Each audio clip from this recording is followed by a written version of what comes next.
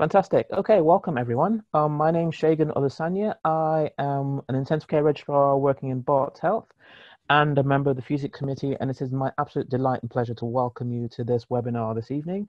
Um, thank you so much for, for spending, choosing to spend your Thursday evening with myself and Johnny Aron. Um, I will give Johnny a chance to introduce himself in just a second, but just before I do so, um, this is interactive. We're going to have a chance to have ask lots of questions. You'll be able to ask questions live as we discuss cases. But if you're going to ask questions, please could I implore that if you look at the bottom of your screen, there's a little icon that says Q&A. And if you put your questions in Q&A rather than in the chat icon, that'll be fantastic because Johnny and I will be tracking your questions the whole time and we'll do our best to answer them all. And on that note, I shall introduce you all to my very, very dear friend and also co-member of the FUSIC committee, Johnny Aron. Uh, hi there. Yeah, uh, uh, my name's John Aron. Um, I work at St George's as a consultant, and I'm an enthusiast for all things ultrasound and echo. I'll um, start with a basic uh, heart ultrasound case, um, and I'm just going to share my screen. And like I say, please put your questions um, in the Q&A section, and if possible, just turn up your mics, um, and uh, so you're not disturbing the talk.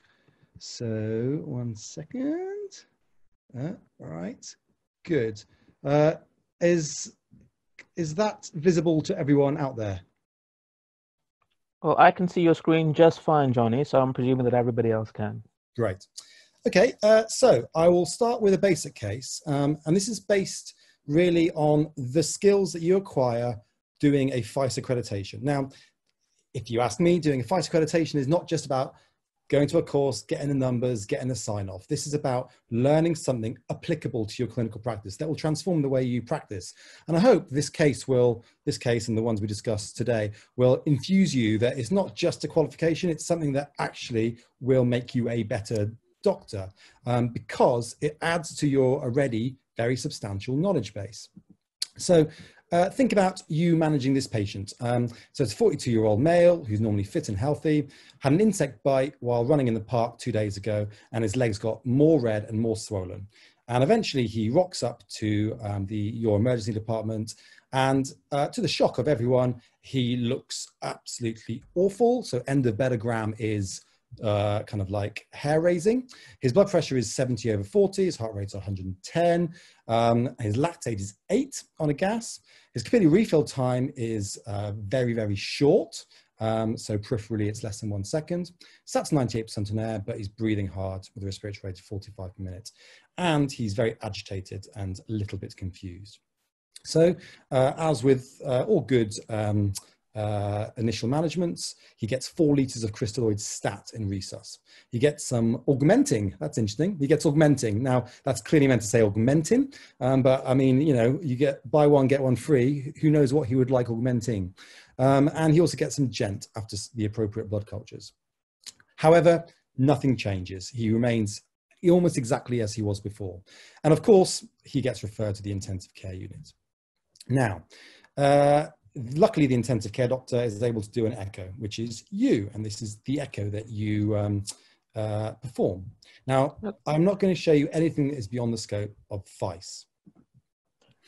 So for those of you learning FICE i'll talk you through the image. This is a parasternal long axis view um, here you have um, the right ventricle uh, the septum the left ventricle the aortic valve the mitral valve and the left atrium um, and uh, overall, um, I would hope that you'd agree that this is a pretty hyperdynamic looking heart.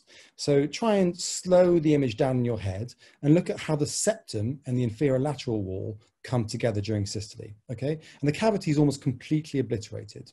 So that implies one of, or two, one of two, or possibly both, um, pathophysiological mechanisms. Either that his preload is low or that his afterload is low.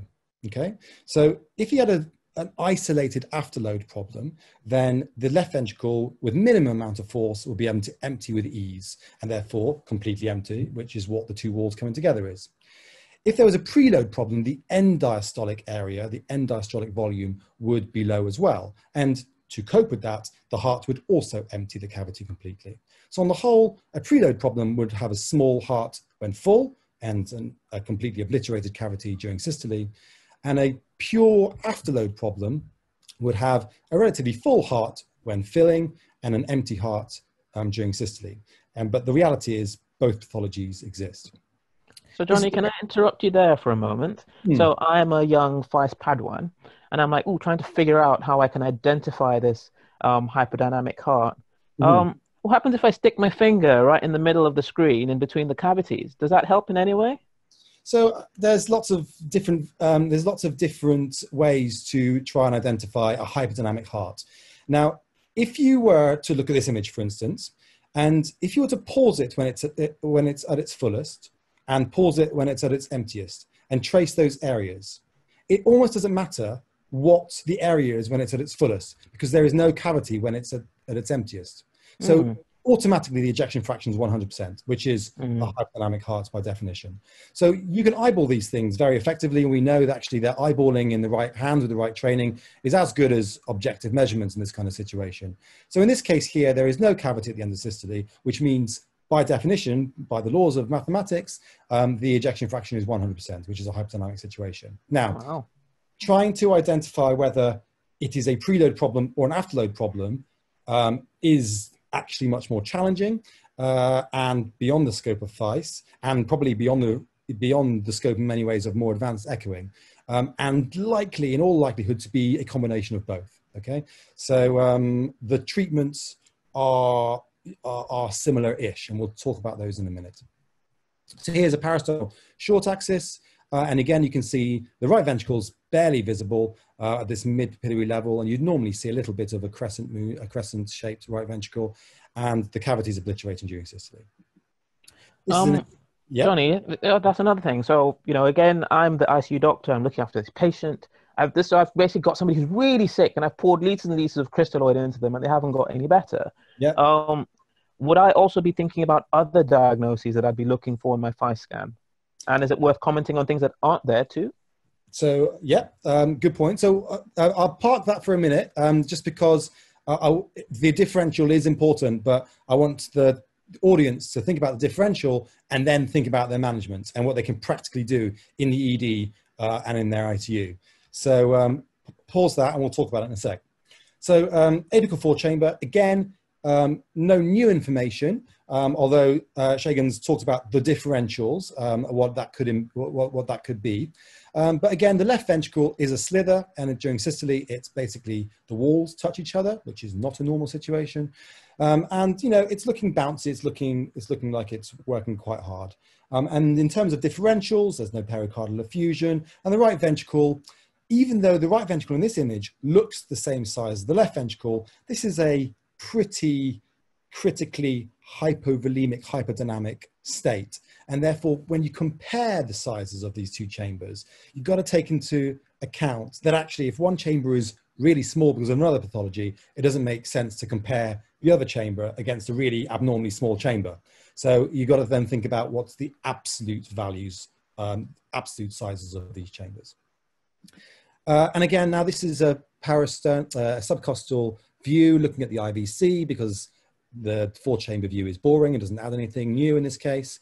And as you can see, the IVC is a slither, yeah, tiny, tiny IVC, um, which there are lots of caveats to look using your IVC to judge severe hypovolemia. But in this case, it suggests severe hypovolemia in its in and itself, and we have um, evidence um, um, from other sources as well. The rest of the echo the end diastolic area of the left ventricle is small. The end systolic area of the left ventricle is small. There's tachycardic and hyperdynamic appearance of the heart. There's no other differentials within the scope of FICE that could be causing this.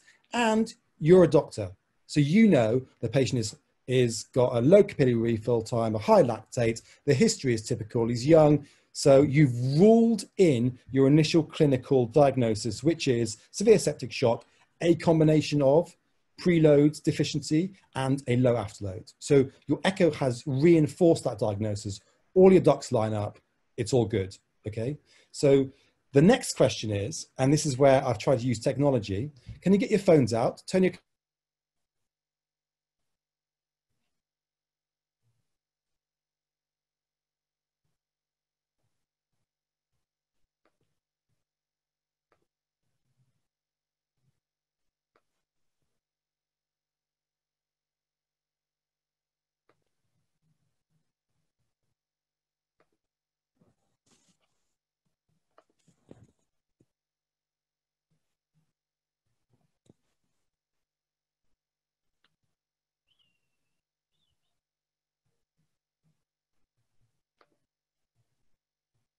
Johnny, looks like you're frozen for the moment. It might be worth disconnecting and reconnecting.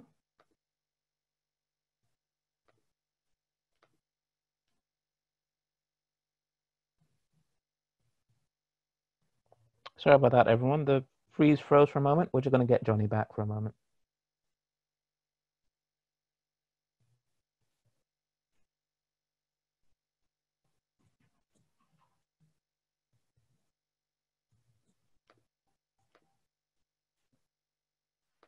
Ah, sorry about that. It looks like Johnny's screen, his computer just had a moment of um, being very upset and has frozen for and has frozen. So he'll be rejoining us in a moment. In the meantime, I'm happy to take any questions about the case. And just as he was getting to the really, really good bit as well, unfortunately. So what he has lined up for you is um, uh, he was actually going to use a Google Forms to get you to get you to actually be part of the case and vote as to what treatment you're going to apply to this patient who in whom we've got decent evidence of hypovolemia. So I'll give Johnny maybe a minute or so to see if he can rejoin. Um, in the meantime, let's have a look at your question so far. Um, nothing is yet. And if Johnny takes too long, I have got a case myself that I'm more than happy to present, and I'll move on to presenting that.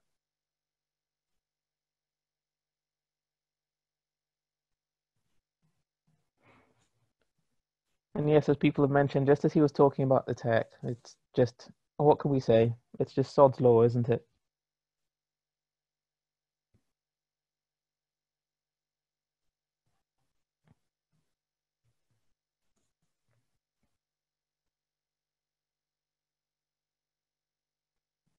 Okay, while Johnny's still reconnecting, what I will probably do in which case I will just start off with my case for the moment. So I have a slightly more complicated case um, where I was going to discuss the role of ultrasound, and this is kind of showing you what Fusic can do for now and Fusic can do in future.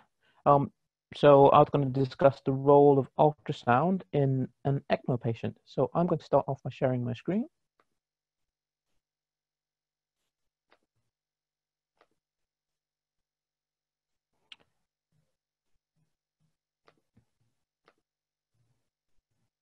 And there you go. So everybody should be able to see my screen now. So I'm going to present a really interesting case that came to us in Barts Hospital um, that was um, that involved multi-organ ultrasound to manage the patient. Um, so just to start with, I've got a few conflicts of interest, the most important one of which being that I'm on the FUSIC committee. So therefore, I'm going to be quite biased in favor of using point of care ultrasound to manage a patient.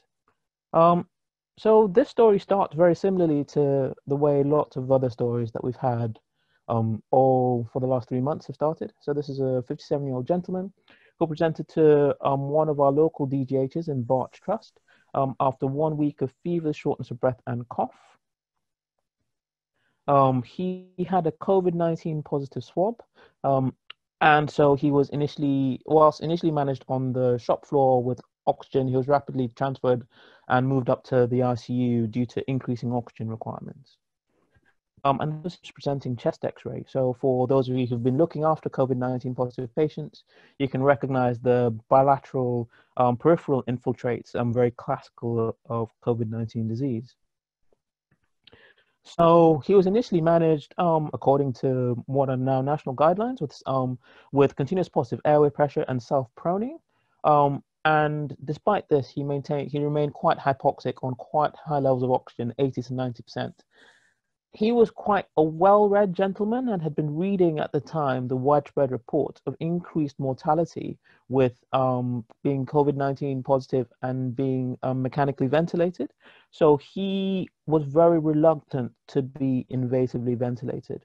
So the team made a decision in accordance with his wishes to manage him with um, aggressive diuresis, and he was made not for resuscitation, interestingly enough, and and that was something that he agreed with. Unfortunately, by day five, he became increasingly hypercapnic and drowsy. He finally agreed to being intubated, and unfortunately became very unwell around the time of intubation. He became peri-arrest, um, had a brief PEA arrest, um, actually, and after being intubated was severely hypoxic and was instantaneously prone and remained on 100% oxygen with sats of 80 to 90%.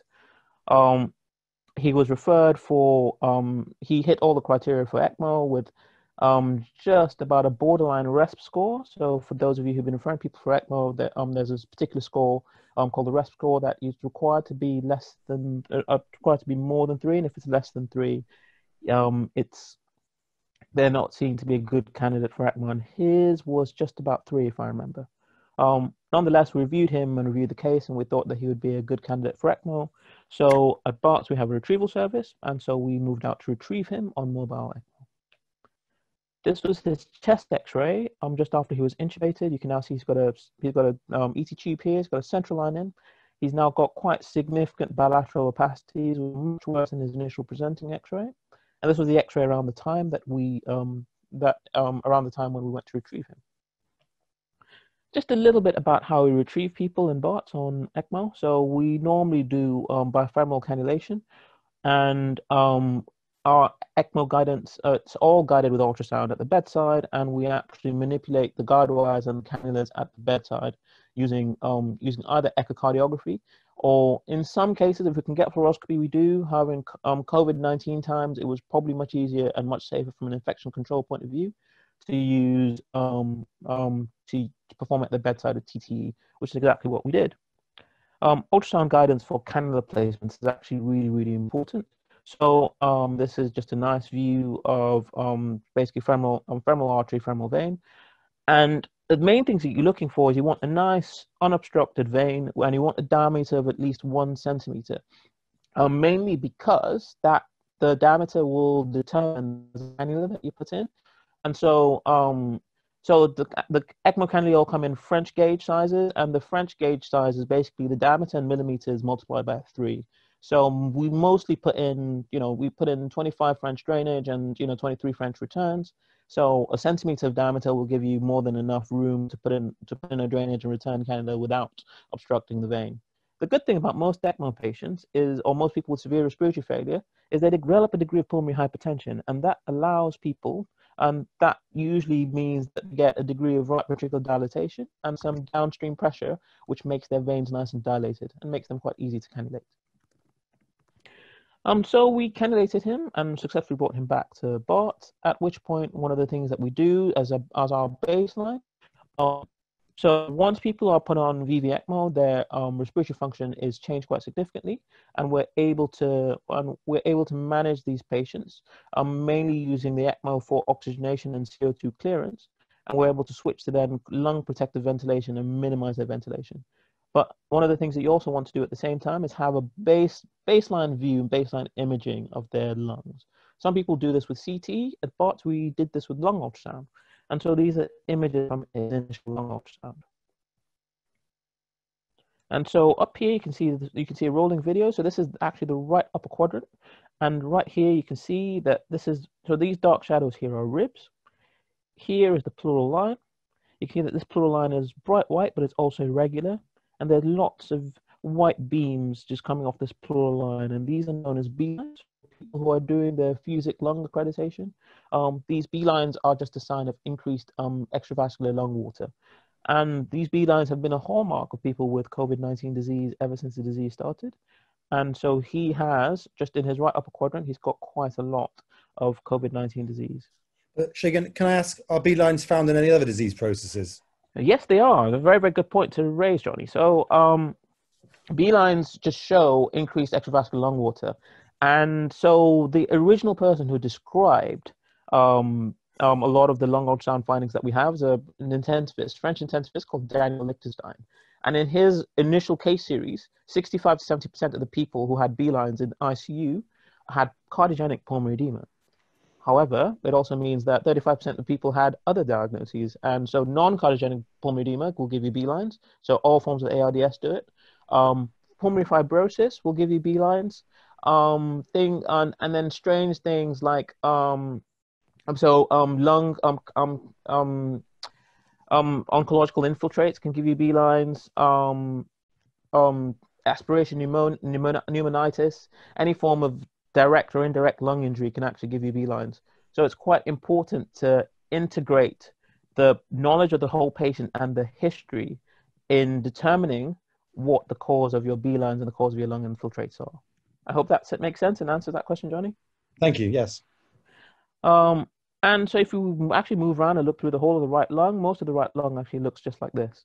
Um, and as we move down, so this is the right middle, right middle zone now, you can still see, so you're starting to see a little bit of liver here, and you can still see that the pleura is quite irregular. And over here, you might be able to see that something looks like a, that someone take a little bite out of the pleura, just like this little indentation here. And that's called a small consolidation, or um, just a, it's just a little small consolidation of the pleura. There's been lots of debates about what those are. Um, we used to think that they were actually a little bit of pleural consolidation um, however, there is some suggestion that they may actually be small pulmonary infarcts um, based on some um, contrast ultrasound work done at King's College Hospital. Um, either way, these are actually also hallmark of COVID-19 disease, and they can actually, they're quite useful in diagnosing it. So if you see lots of subpleural consolidation and lots of B lines in a patient, it's one of the things that you need to think about. And moving on, you can still see much the same on the right side. And as we get down to the right base, so here is the here's the right hemidiaphragm. Underneath is the underneath is the liver, and down here, so you can actually see that there's thoracic spine here. So this is quite a useful little sign. It's called the spine sign. You should normally not be able to see the thoracic spine ascend above the right hemidiaphragm. If you can, it usually means that there's something that allow, that's allowing you to see through the normally aerated lung all the way through the back in this case, what you can see here is lots of little white dots and some gray homogeneous stuff, and this is all pulmonary consolidation. So even based on that chest X-ray, um, what he's got is lots and lots of B lines anteriorly, and then pulmonary consolidation at the base. That's contributing, contributing to his loss of aeration. The left lung was a lot more interesting. So looking at the left upper zone, already here, rather than seeing the B line profile that you can see before, what you see here is this little irregular area here with dark stuff in it. And next to that, you can now you can also see the irregular pleura on the B lines that we were seeing before. So I'll get you a better image of this as I look through the ribs. So as I look through, as I look down a little bit, this is more just very, very solid, dense B lines. But as I go back laterally over that particular nasty bit, you can actually see that it's actually a big wedge of very solid material and it almost looks like liver. So this is hepatized lung, and this is a big consolidation what we found in our in people who referred for ECMO at our institution is a lot of times they had profound bilateral consol- they had profound bilateral lung disease, and they would often have at least one patch of consolidation like this. And a patch of consolidation like this usually signified that they had a secondary infection. And we had quite a few people with secondary bacterial infections um, with severe COVID-19 disease. Um, ours were lots. We had lots of Klebsiella and Pseudomonas. I don't know if you saw anything similar in your cohort, Johnny. Well, I mean, yeah, obviously it's uh, industrial uh, industrial secrets, but um, we did have a, uh, a fair few uh, Klebsiella pneumonias um, uh, in our makeshift intensive care unit, which was attributed to relatively um, uh, cramped intensive care conditions, which was our initial effort, uh, and some inf- um, some difficulties accepting that the PPE is to protect the individual, but you still need to put on um, gowns and gloves on top of PPE to protect the patients. Uh, and that was a lesson uh, learned through that. So, um, but yes, it's interesting to hear that Klebsiella pneumonia uh, was a feature in your hospital as well. Yeah, it certainly was. And um, we think that it was probably the reason why this why this chap deteriorated quite significantly. And you can see more shots of this um, really big wedge of consolidation um, on the left hand side. And as we get to the left base, that consolidation is still there and right at the bottom of the left base with the so this is the left hemidiaphragm now with the spleen there you can still see quite significant loss of aeration.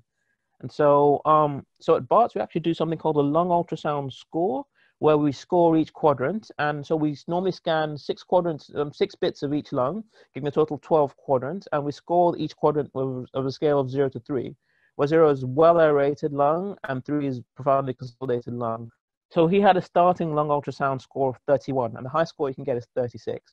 So he was pretty, pretty sick. And this also tallied with the fact that when we tried to mechanically ventilate him on our lung rest settings, he had tidal volumes between 50 and 100 mils. So this was a pretty sick man. Now, as you can imagine, um, with lungs like this, um, as you start to think in more advanced physics terms, heart, the heart and the lungs work together as one unit. And so lots of things that affect the heart will affect the lungs. If you get left-sided disease, you get pulmonary edema, and vice versa. If you get significant lung disease, you get pulmonary hypertension and you often get strain on the right heart. So it's quite normal for us to do both a lung scan and a heart scan when assessing these patients. And that's exactly what we did. So here we have another parasternal long axis view. Um, and this, um, again, so this is the same as, you can see this in FICE and both on Beyond FICE. So this just shows, um, if I can get the mouse up here, so this is the right ventricle here, so left ventricle here, it's the aortic root and left ventricular outflow tract and the left atrium. Now, it's a bit difficult to see on this scan, but with the eye of faith, um, some of you who are doing your FICE may have heard of the rule of thirds. So the left atrium, the aortic root, and the right ventricular outflow tract seen on a parasternal long axis scan should be roughly the same size. And on this scan, the right ventricular outflow tract is very slightly bigger, just there. When you ever see, whenever see, seeing anything in echo, it's always worth thinking echo is a bit like orthopedics. You should always ask for an AP and a lateral, so you should always look for everything in more than one view. And moving on to the short axis view, you can actually see that there is a degree. So this is the left ventricle here, and this is the right ventricle here. And that interventricular septum does look a little bit flat. That suggests that that right ventricle is overloaded and causing a degree of pressure onto the left hand. So normally you'd be in FICE, you're taught to see you you're taught to look for this in particular um, when you're looking for people who've got massive right heart strain and people who've got massive pulmonary emboli. But in this case, you can also see this with people who've got significant pulmonary hypertension from from lung disease. And this is an apical four chamber view. So again, just a normal, same view that you'd see in your FICE, in your FICE scans. Um, on this view, the right ventricle doesn't look particularly enlarged. However, with the eye of faith, you can actually, if you look at the tricuspid annulus here, um, so the right ventricle works in two ways, longitudinally and radially, and looking at the longitudinal function of the right ventricle, it's probably slightly reduced. And when I formally measured it, it actually was reduced. When we have people on ECMO, this is one of the most important views that we look at. So this is a subcostal view looking at the IVC, just like the one you showed earlier. And in this case, what we're looking for here is the position of the ECMO cannula. So if you look very closely here, you can see this little, you can see some foreign material here, and there's a little pipe here. So there's a solid line there, and there's lots of dots at the end. This is the classical appearance of an ECMO return cannula. So this is the cannula that will shoot um, oxygenated blood back into the heart. And if you look back here, you can see a little solid line here. This is the classical appearance of an ECMO drainage cannula. So this is the cannula that's going to be draining deoxygenated blood from the IVC. So it's very important for us to look for the position of these cannulae, not just on X-ray, but also on echo, because you want to know what the distance is between them. They need to have a certain distance between them in order to minimize a mix of the the oxygenated and deoxygenated blood actually just kind of mixing. So if you cannulae are too close together, the um, the nice oxygenated blood comes out here and just gets sucked back. Um, you also want to make sure that the cannula are not too close to the septum so they don't make a hole in it. Um, and you also want to make sure that um, they're not obstructing the hepatic vein. So we actually also look at hepatic vein flows when we're doing advanced studies. So that was him, and that's how we got him all set up. Um, he was quite sick, as you can imagine, and so um, after a week, he actually continued to be hypoxic. And what we often do when people are when people remain hypoxic like that, uh, despite you try and turn up the amount of flow, blood flow that the ECMO cannula can, that the ECMO machine can give you. And if it's still not giving you high enough flow, you add in an extra cannula um, to give you even more flow. And in this case, we put in an extra jugular cannula, which would allow us to dial the flows up to even higher. Despite that, he was still actually quite difficult to oxygenate. So what we then did was we did, as I mentioned, we did a repeat echo. And we thought on repeat echo that the that the cannulae that he so it's quite it's often quite normal for cannulae to kind of migrate a little bit while people are in ICU. And on the repeat echo, it looked like his uh, both his drainage and return cannula were too close together. So we pulled the return cannula back to give them a little bit more distance, and he got better and was able to be oxygenated again. And this is just second echo after the cannulae were pulled back, just to show you a little bit about how his heart had progressed during that time. Again, this is parasternal long axis view. There's a slightly zoomed out one. One of the first things that you can see here is just um, posterior to the left heart. You can actually see that there's this big area of consolidation here. So this is actually his lungs. His lungs are still really badly consolidated, and you can see that just from your echo. With the eye of faith, you could argue that the right heart looks a little bit smaller or more the same. But on short axis, that flattening of the septum seems to have seems to have reduced now, and some of that is because the ECMO flow by draining blood from from the by draining blood from the IVC and by draining quite a lot of blood from the IVC, you can actually improve and decompress the right ventricle, which is what which is part of how ECMO works and how part of how ECMO improves people's outcomes actually. Now this is a non-FICE view. This is a slightly higher parasternal short axis view, and this just shows the aortic valve here, the right vent right atrium here, and shows the right ventricle curling round um, like like a croissant, so, like, so we say, curling all the way around. And this shows you the pulmonary valve here and the pulmonary artery. Um, the pulmonary artery is about to branch just over here distally. This view, is, the reason why I showed you this view is just to show you that one of the things that can still happen, even though he's nicely decompressed with his ECMO, is that the right ventricle is still not working very well. So normally your right ventricle works and it contracts in two directions. It contracts um, longitudinally, it contracts radially. And this is a good way to see radial contraction of the right ventricle. And even though his right ventricle looks like it's contracting longitudinally very well, the radial function is still quite down. And that's just a mark of how sick he is and how he's still got some way to go. It's an apical four chamber view that shows that his left ventricle is, still working quite nicely. And again, if you look, his right ventricle longitudinal function, so looking at the tricuspid annulus here, that looks like it's working quite nicely. Um, so it'd be very easy to just look at this and think that the right ventricle is actually working really well. But it's a reminder that you need to, as we look after these quite complicated patients, um, your skills with echo develop to the point where you can assess the right ventricle in multiple views and be able to make a call as to whether the right ventricle is working well or not. And here's a subcostal view. So this is a subcostal view with color. And what this shows here, so I don't know if you remember before, so the, the return of ECMO was actually down here. So now it's actually been pulled back and it's actually now beyond the hepatic vein. And you can tell that's beyond here because you can see all this stuff jetting in. And this is actually the blood from the ECMO cannula that's being jetted in here.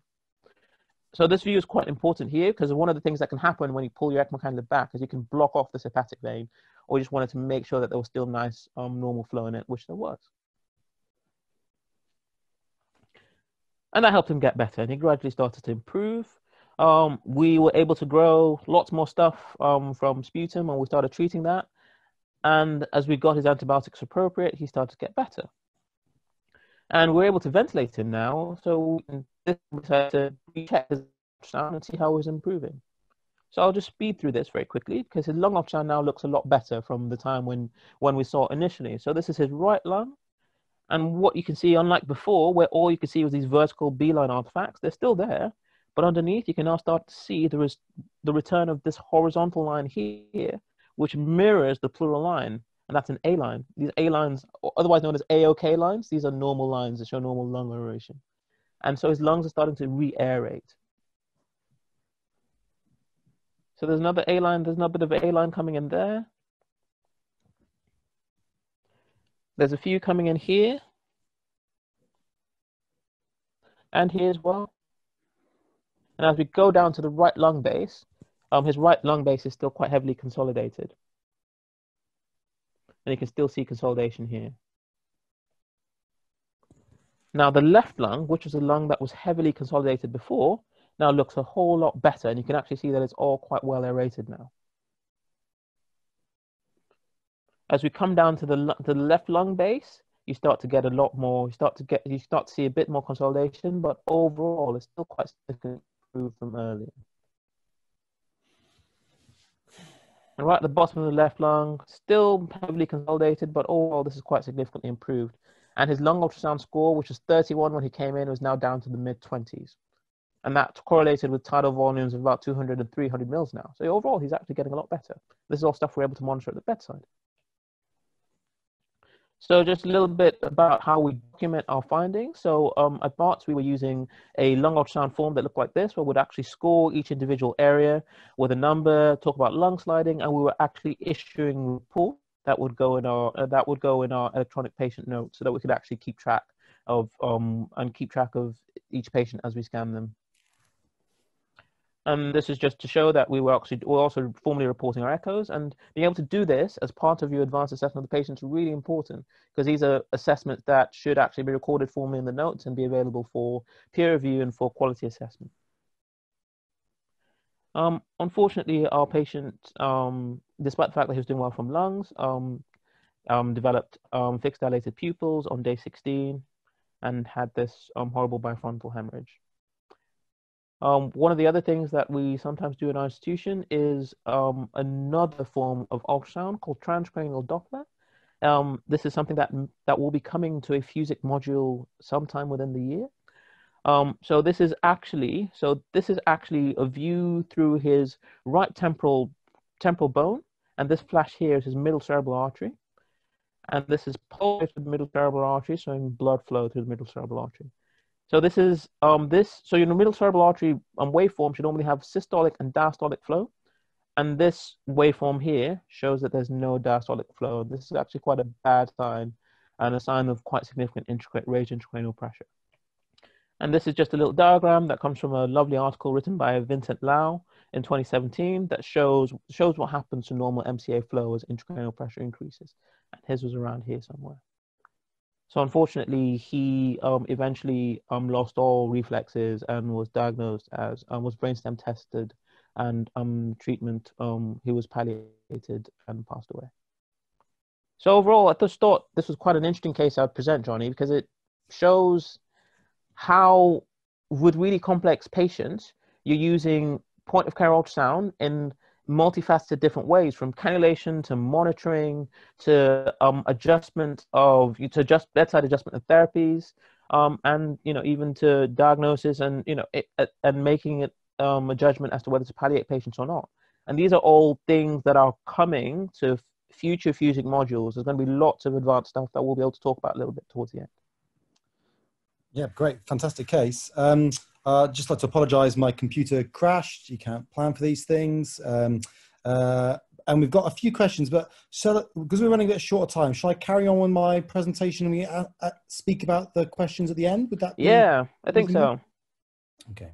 If you, if I share my, um, stop, stop uh, my screen share, and you switch over to your screen share. Yeah, except I think Matt, you're going to have to re-enable um, me my ability to screen share. Thank you. Okay, now, uh, I'm sorry again about that. Um, I suppose these things happen. But now, I don't know if I'll give you a quick recap. It's a young guy with septic shock who's had four liters of fluid, whose obs are all terrible. Okay, so so there, you're an A and E, and um, one second. Huh. Right. Uh, and now, can I ask you to try to get your phone out, scan this QR code, and vote as a group? What would you do? I'll give you a couple of minutes. It should be as simple as pointing your phone, your iPhone at a QR code. I don't know about Android phones.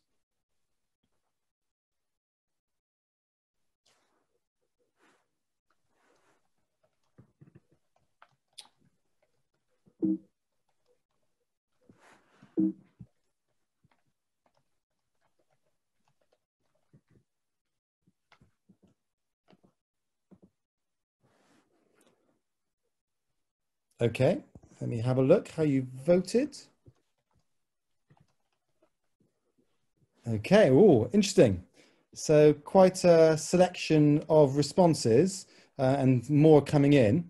Um, so it looks like most of you have gone with option two, um, which uh, uh, that's fine. So let's just remind ourselves what option two is targeted fluid therapy using a cardiac output monitoring device. I think that's a reasonable thing um, to suggest. I mean, I suppose he's had four liters of fluid, it's made no difference. Now, you could argue that perhaps um, trying the same thing over and over again using something uh, uh, a little bit of a smarter device isn't going to make the difference. And for me, at this stage, I would probably try and start a vasoconstrictor early because, like I said before, the echo is consistent, as is his pathology, with a mixture between preload deficiency and an afterload problem, so a low afterload. And we've treated four liters of crystalloid in a short time is a treatment for the preload problem. We haven't really addressed the afterload problem. Now, you could argue that actually his microcirculation are all very leaky and all the fluid you're giving him is um, not staying within the circulation. Well, if that's an argument you're going to use, then you probably shouldn't give any more fluid. And actually giving a vasoconstrictor may recruit volume that is pulled within a um, very vasoplegic circulation, okay? So in effect, a low dose vasopressor therapy is like giving a fluid bolus, except in this case, the fluid is your own blood volume, which is less likely to, but not impossibly, uh, leak out of your um, gap junctions in your failing circulation. So, um, so after, um, so we started some low dose peripheral noradrenaline on this gentleman. We have a protocol for it, although it doesn't go down very well.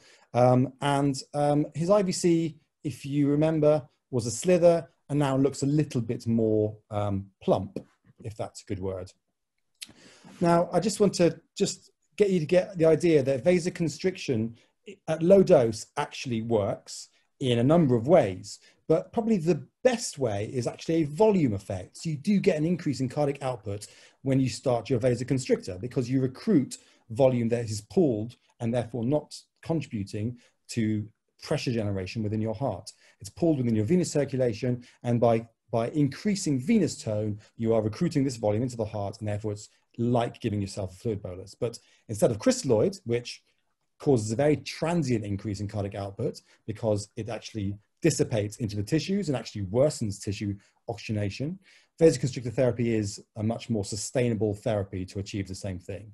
Now, as you increase your vasoconstrictor therapy, it has less, less and less beneficial effects in the way we're describing and has a higher uh, effect on resistance, which increases afterload. And that can increase your uh, myocardial work and then result in um, an increase in, uh, in, its, uh, in, in, its decompensation. So, uh, progress. So, you obviously had nec fasc, if that wasn't obvious. You went to theatre um, twice in 24 hours and had debridement, pretty extensive debridement. Lost a lot of blood, got a lot of blood products, and had a rocky kind of 48 hours and then stabilized to some degree. But then he became hypertensive again. His noradrenaline was pushed up to 0.8 and he had further fluid boluses but was not responsive according to our cardiac output monitor. At this point, his fluid balance is 8.8 litres since ITU admission, so excluding the four litres he had in A&E. And he had a worsening PF ratio and his compliance on the ventilator was getting worse as well. So all bad, really, I think we'd all agree. And actually, echo done at the time um, demonstrates this. So this is the same patient 48 hours later. And I think this is an important concept that when we get these really septic shock patients, the left ventricle looks hyperdynamic and we think, oh yeah, it's hyperdynamic, it's a preload afterload problem, easy. Yeah. And that's probably true. But I actually think, and there's some evidence suggests, that um, actually the left ventricle becomes impaired because of metabolic or septic um, sequelae relatively early on the disease process. But the afterload is low, so this is hidden from macroscopic um, kind of inspection. So left ventricle looks hyperdynamic and we think that's fine.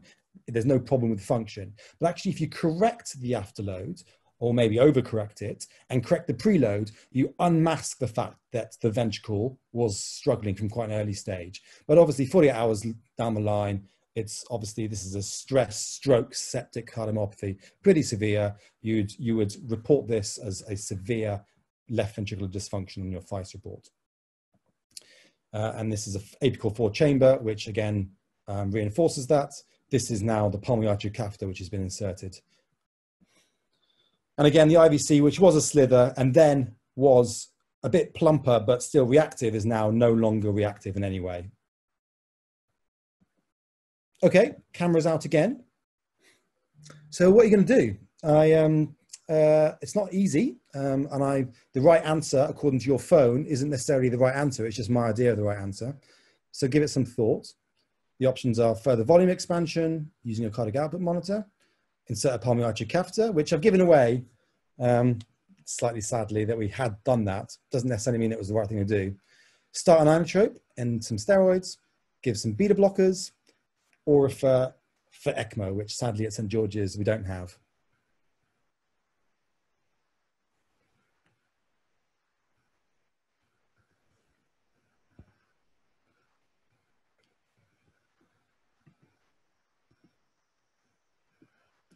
Great. And a lot of you are answering and you're getting, we are, are agreeing on the strategy, which is start some inotropy um, on the whole. Um, some people say go for ECMO straight away. I don't think that's an unreasonable thing. Um, so um, uh, apologies, option four obviously is not right. Um, but I think most people would say the next step is um, inotropy, which I would agree with. So, uh, and that's what we did. We used um, uh, actually echo and the pulmonary artery catheter to guide our inotropy. And you can see here how over the course of increasing amounts of dobutamine, um, the ventricle started like this and looked slightly more impressive. And actually, his hemodynamics improved, his SpO2 improved, stroke volume improved, cardiac output improved, and he started clearing his lactate. And two weeks later, he actually recovered. So no need for ECMO, um, although obviously he had a pretty stormy time. Um, and actually, I think, I'm not sure, but he required two further debridements. So I can imagine debridements plus ECMO is quite difficult, uh, especially when it comes to the anticoagulation aspect of it. Um, but um, as it was, we got through it. So I think overall, I want to say that this is actually quite a challenging case. So it's a young guy who came in with septic shock, which we think we know what it is, but actually septic shock is not one thing. It's could be lots of different things contributing to the shock and teasing apart the different bits is actually quite challenging. Um, but using a technique which can be learned quite successfully in six months, but it's important to understand that your clinical judgment and your experience is key to integrating that with echo. So you can't just learn echo and be able to manage this patient. You've got to combine the two. But using the two, you have identified initial resuscitation strategies and worked out when something is no longer working to try something new. You've identified a quite a difficult to treat complication and figured out the best way to treat it. And you've demonstrated its effectiveness using echo, but also using the clinical picture. And you've monitored the recovery. So this is slightly beyond what we, what we say FICE is able to do, but it's not a massive leap to see how you can use relatively basic focus echo to, to do these things. So that's that. Now, I don't know if you want me to quickly go run through the advanced case, Segun. Would that be reasonable? Um, I think there's actually quite enough on both cases to just spend a little bit of time just actually discussing just different stuff. So there's quite a few questions that have come in already. Um, so one question which we could probably dwell on. Oh, oh, by the way, that was an amazing case. Thanks, Johnny. That was fantastic. Um, one of the questions that we should actually um, just talk about was from Roshan, and it was just about clarifying the interpretation on TTE of preload versus afterload problems. Huh. And I thought that would take us quite a while to get through. So, um, what are your thoughts? Uh, okay, so so I think that's a very that's a very difficult question, even for an advanced um, uh, mm. echo um, accredited person who understands a lot of cardiovascular physiology. And the result is one probably leads to the other, and um, uh, and they are both intertwined to some regards. But overall, I suppose there probably is a degree of um, in a particular person, there may be a predominance of one over the other, uh, which would then lead you down one initial strategy before mm. the other. So, like I said before, overall, um, I think first of all is clinical history. So, clinical history, a short illness would imply that they're not going to be significantly behind volume. Okay, so in, in, in the case of this um, septic shock patient, he was well running 48 hours ago. So he's not like he's been not eating and drinking for a week like the COVID population with very high insensible losses. So, so yes, there probably is a degree of hypovolemia and preload deficiency, but it, it, it, and I would have thought, maybe I'm wrong, that four liters rapidly would have corrected at least some element of that. Mm. And you'd start to see a response. So that's the clinical picture. Now we also have the clinical findings, which is a a hyperdynamic um, peripheral circulation, so the capillary refill is very low. And the lactate, even despite good peripheral perfusion, is very raised. So that would, that would identify to me a vasoplegic state. Now, looking at the echo, like I said, there's two things to eyeball. There's how big the heart is when it's full, and how much the heart empties when it's emptying. Okay, so a if your preload was adequate and optimized, the heart should fill up to a, a normal amount. So the end diastolic area, if you're thinking about the parasternal short axis, would be adequate. Now, unfortunately, we never, very rarely have baseline echoes. So my, my um, end diastolic area under normality maybe 12 centimeters squared. So when I come in and you scan me that I'm now six centimeters squared, that's clearly much, much lower. And I can say, well, actually, hang on a sec, six months ago, I was 12 centimeters squared, now it's six centimeters squared. The, the heart's clearly not filling uh, at the end of diastole, and therefore preload is a obviously a, a, major feature in this patient. We don't have that baseline scan. What we do know from studies that anything less than 10 centimeters squared, doesn't matter what kind of heart you have, is likely to be deficient on preload. So a very small end diastolic volume of less than 10 centimeters squared would indicate in most patients, doesn't matter about your comorbidities or not, that there is a preload problem. The heart is having trouble filling. And obviously there's a complex relationship between heart rate and filling, which I'm not even going to go into now. Now, like I said, so if, so if your heart is empty, when full, then the only way the heart can cope with to try and maintain cardiac output is to eject all of that volume. So your end diastolic area is small and your end systolic area is small. So your cavity completely obliterates. So both are small, which would imply, for me, the initial strategy would be volume expansion. And I'd keep an eye to see if that's an effective strategy. Um, if, on the other hand, the end diastolic area is normal, and yet the cavity is obliterating during systole completely, then that would indicate to me less of a preload problem and maybe either an overt inotropy problem, like for instance, you might see if you gave a bolus of adrenaline or if you're hyperthyroid, um, or a low afterload problem, which is probably the most predominant clinical problem in sepsis. So even though it's an artificial distinction because they both exist together, you can tease out which is perhaps the most appropriate thing to intervene on first. Um, yeah, I hope that makes sense. So that makes a lot of sense. Can I just share my little my little cheat? Um, so I'm a very simple man, and so lots of these things I try and simplify everything. So I combine heart history, echo, lung ultrasound, and IVC to try and tell me whether it's preload or after a pro- afterload problem. So if they've got a preload problem, they should have a tiny IVC, a hyperdynamic heart, and completely completely dry lungs, and a compatible history, of course. If it's an afterload problem, after four liters of fluid, they should have a hyperdynamic heart, a full IVC, and wet lungs. There is only one caveat to this. There's one thing that doesn't fit in either of those, those, and that's anaphylaxis, which will give you a hyperdynamic heart, wet lungs, and a small IVC. So that's my very simple cheat sheet way of looking at it. Yeah. Cool. We have one more um, question, or we had quite a few questions in the chat about thought about our thoughts on peripheral, um, starting peripheral noradrenaline. And um, every institution is slightly different on that one. So I thought I'd get your thoughts. So um, do you ever do this? Um, what, um, what, what are your thoughts on it? So um, we do do it. Um, there is a protocol for it, but it's not widely accepted. It's something that I'm very keen on doing, and I think um, there's plenty of studies now um, which would suggest it's safe. So um, as long as it's done appropriately, large cannula in the antecubital fossa with with um, tissue obs, um, low dose dilute noradrenaline is safe. And I think it's something that can be practically started in uh, an ED. Now, I think probably as a group of intensivists who are listening, we'd all agree that noradrenaline should be started earlier. So, what normally happens, someone comes in, they get filled to the brim with fluids, and then they get referred to ITU, and ITU review comes along. They spend a little bit of time deciding yes or no, maybe give some more fluid, and they say yes, we'll create a bed. They come up, and suddenly it's been six hours of hypotension, fluid maximization, which have then all dissipated into the tissues, worsening tissue oxygenation. So my feeling is we should be starting noradrenaline much earlier. And I think peripheral noradrenaline, low dose in the ED is a way of doing it, something I'm trying to integrate, eh, start now. Um, some people may argue that um, there's little pharmacological benefit over low dose mm, um, noradrenaline versus metaraminol or phenylephrine.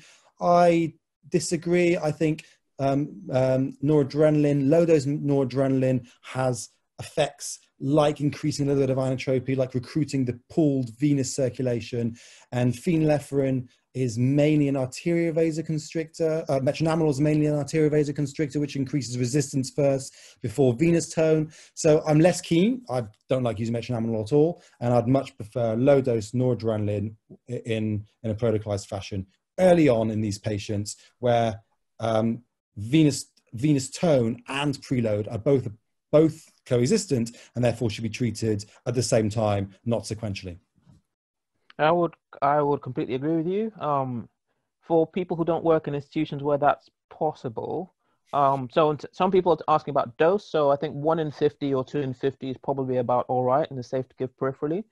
But for people who don't work in institutions like that, um, one shortcut that you may try, you didn't hear it from me, is um, vasopressin or terlipressin. Yeah. But again, as a bolus gives you a, a couple of hours to sort yourself out. Correct but again, this is not something that you should. This is not cowboy stuff. You should talk to people in your institution about it. Um, try and draw up a protocol. If you're really worried about giving people, you know, about flooding people with fluids, then do this properly and think about the whole. Think about it as a systems issue rather than just I want to look cool in the ED when I'm down there and make my patient look awesome issue. Yeah. I mean, our, our, protocol is four milligrams and 250 mils actually given via a volumetric pump, and we only go up to 0.08 mics per kilo. So really dilute um, and you know quite low dose, um, and that's what we've done before.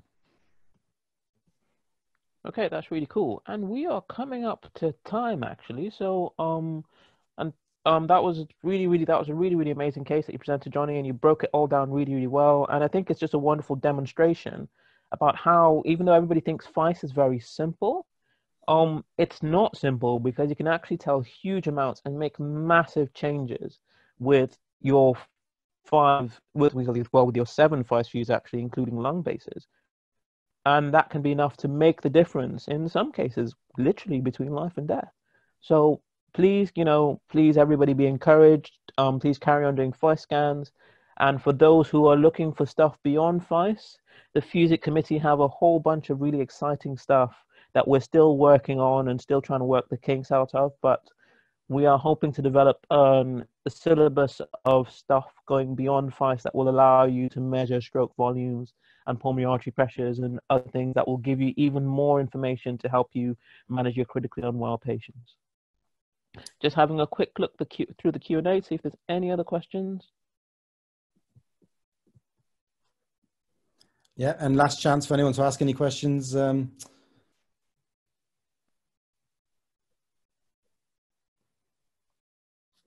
Nope, so far I think that's it. I answered quite a few questions. I'm um, just typing in the chat. Oh, there's a couple of extra questions that have just come in.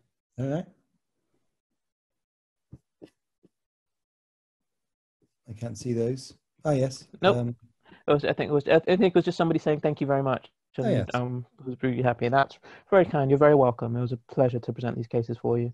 And uh, uh apologies um, in advance, and uh, sorry I didn't get to show my second case, which will have blown your minds um, about how a little bit extra on top of FICE can really help you make some dramatic decisions that um, uh, would be absolutely impossible without. But maybe maybe next time if I get invited. Absolutely, back. yes, definitely next time. And Johnny will definitely be invited back next time because he's been brilliant today.